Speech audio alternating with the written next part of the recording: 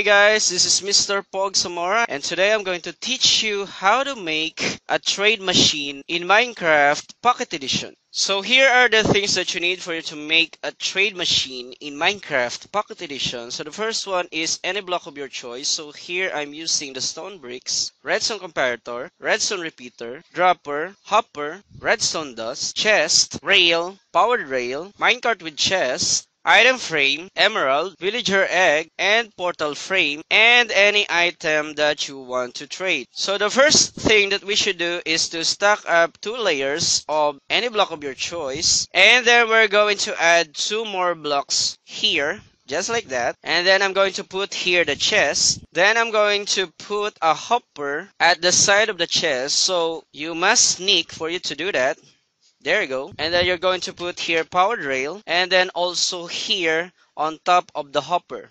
Just like that.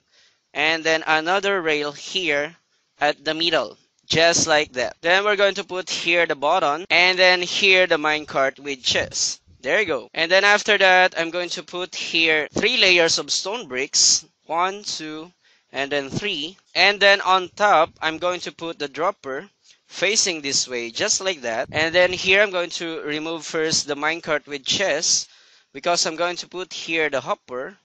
There you go. And then I'm going to put the minecart with chest again. And then here I'm going to sneak and then I'm going to attach two more hoppers from the first hopper.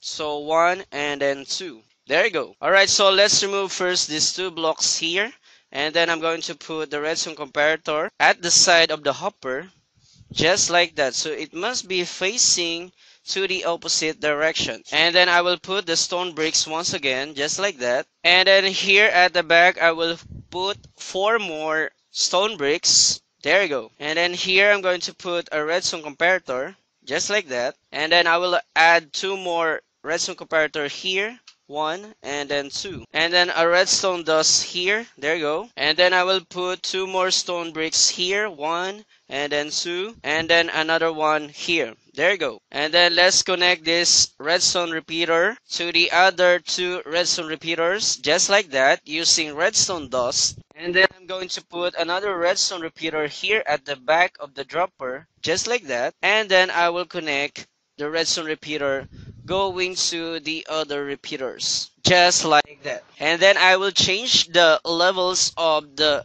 redstone repeaters into three. So one two three. Also this one one two three.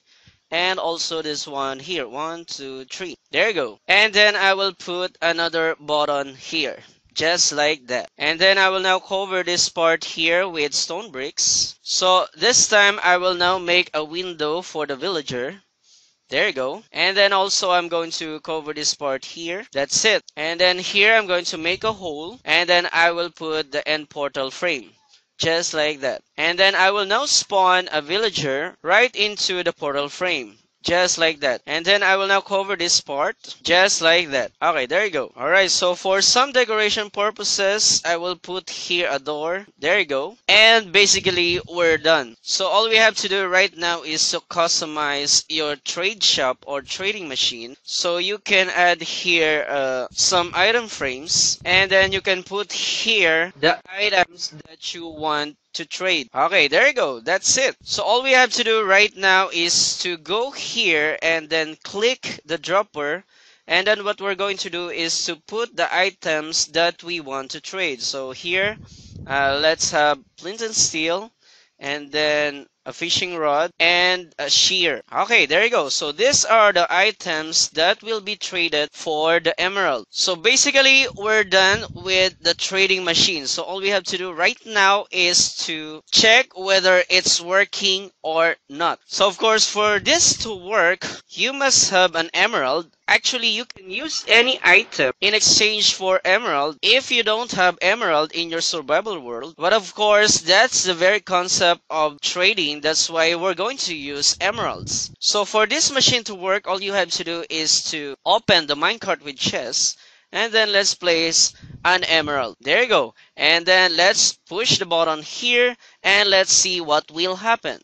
There you go. So as you can see, there goes the minecart with chest and there you go it just returned and let's see what's inside the chest. So as you can see, we have now the flint and steel. So this trading machine is really working and that is so awesome. Now let's check what's inside the chest once again. So as you can see, it's empty. So what if if we're going to push the button and the chest is still empty? Let's see what will happen. So let's push the button now.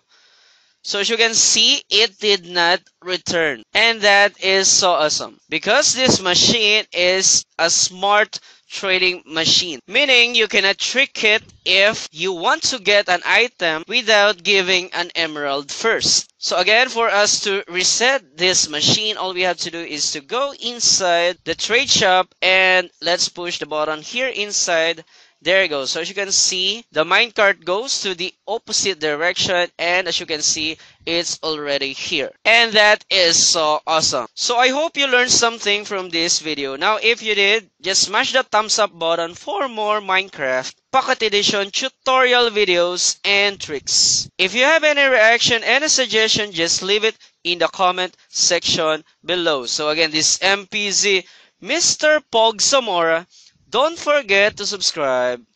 Bye now! Hey guys, this is Mr. Pog Zamora, the owner of three YouTube channels, namely Mr. Pog Zamora, Unique Potato, and Tricky Pumpkin. Mr. Pog Zamora channel is currently focusing on Minecraft Pocket Edition tutorial videos and tricks. You can also find here Redstone tutorial videos, Minecraft PE Let's Play Survival Series, and more about Minecraft PE and Minecraft PC. So let's push the button. There you go. So there goes the minecart. There goes uh, the TNT. Oh my goodness.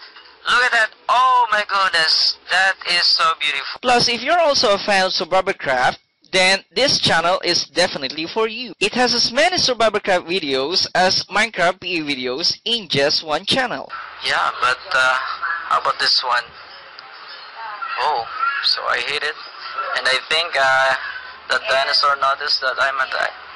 Oh, Now, if you're looking for more Survivalcraft videos, then check out my second channel, Unique Potato Channel. Currently, this channel is focusing on Survivalcraft related videos such as update reviews, tutorial videos, and mod showcase. This channel is aiming to be one of the best Survivalcraft channels on YouTube. For fans of both Minecraft PE and Survivalcraft, Tricky Pumpkin is a channel to visit. It contains Minecraft PE and Survivalcraft videos that are creatively made just for the fans.